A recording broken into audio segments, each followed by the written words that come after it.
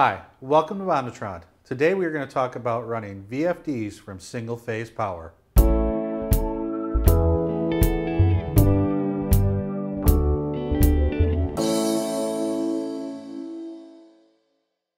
Three-phase motors are the most economical choice for applications larger than 10 horsepower. However, in some areas, it's not feasible to run three-phase power to the location that the motor is going to be installed. This is the case for many rural areas that use equipment such as grain dryers, irrigation pumps, reciprocating piston pumps, or sawmills located in remote areas. The traditional way to deal with this has always been to use an oversized VFD and run it on single-phase power. Some drives need to be oversized up to 300%. Also, depending on the drive, running on a single phase may not be included in the UL listing for the drive. When you do this, the life of the drive is typically reduced due to the side effects of using single phase versus three phase. Some of the biggest side effects are higher currents that generate more heat in the drive's rectifier and the heat and wear on the drive's bus capacitors due to the increased ripple in the DC bus. The rectifier sees a higher current because most of the time when running a VFD off single phase power, your input current is double what your output current is. So if your three-phase motor is drawing 10 amps a phase from the drive, the single-phase input to the drive would be drawing around 20 amps.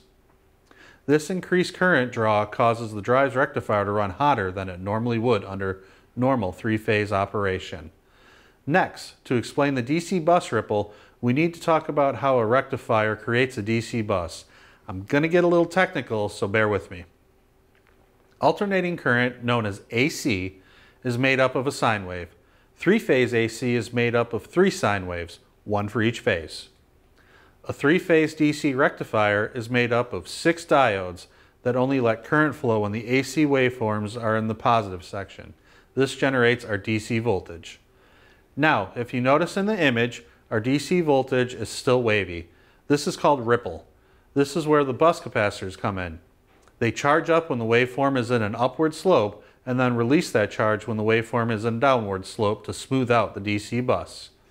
This image shows what the DC bus looks like with the capacitors on it and no load. As you can see, the DC bus is very smooth, but as you add in a load, the ripple will return, but it will not be as bad because the capacitors are working to smooth it out. Now, to get back to the point, Drive manufacturers size the DC bus capacitors to handle the ripple that is created with a three-phase AC input with the minimum amount of capacitors needed to keep cost competitive.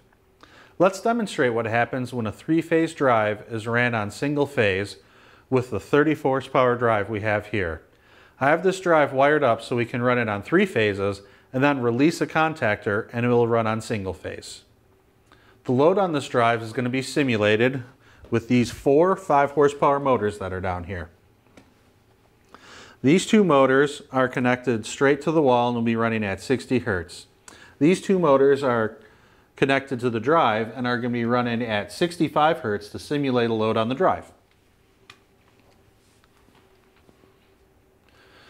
All right, let's get started. First we need to power up the drive.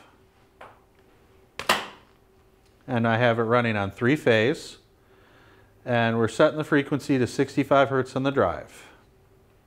All right, now that our drive is ready, we're going to hit run.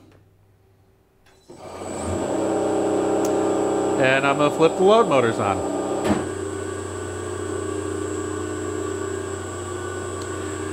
As you can see, as I load the drive down, the DC bus begins to develop a ripple. Let's see how much current we're drawing at the drive's three-phase input.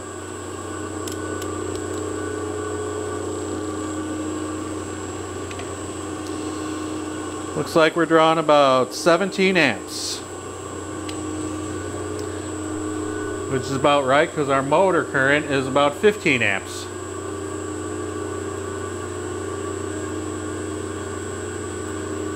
Alright, I'm going to turn everything off, stop it. And I'm going to open up this contactor so our drive is going to run on single phase. Now that I've done that, I'm going to start the drive back up at 65 hertz. And we're to load it down. All right, our motor current is 16 amps now.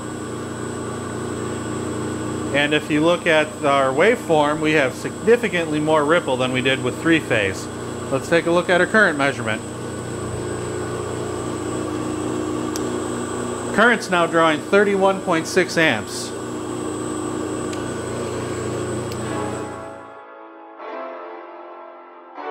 All right, now let's take a look at how the M3712 can solve these problems. The M3712 is a single phase power supply for your VFD. With this solution, there is no need to oversize your drive for single phase applications.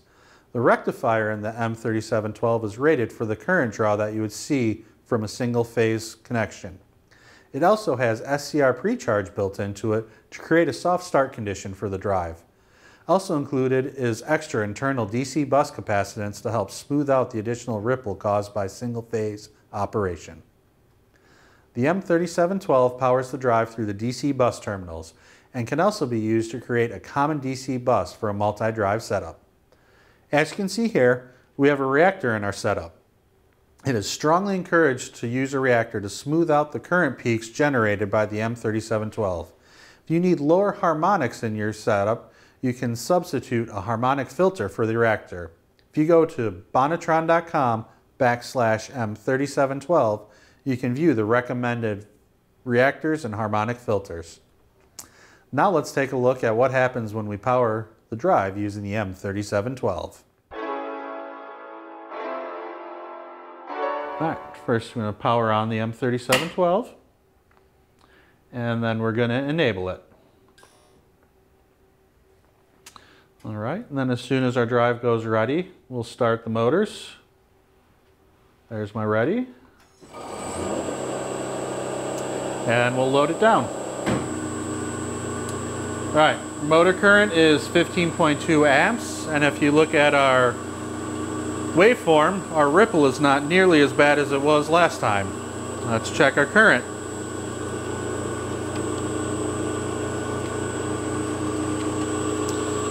And we're drawing about 31.8 amps of current.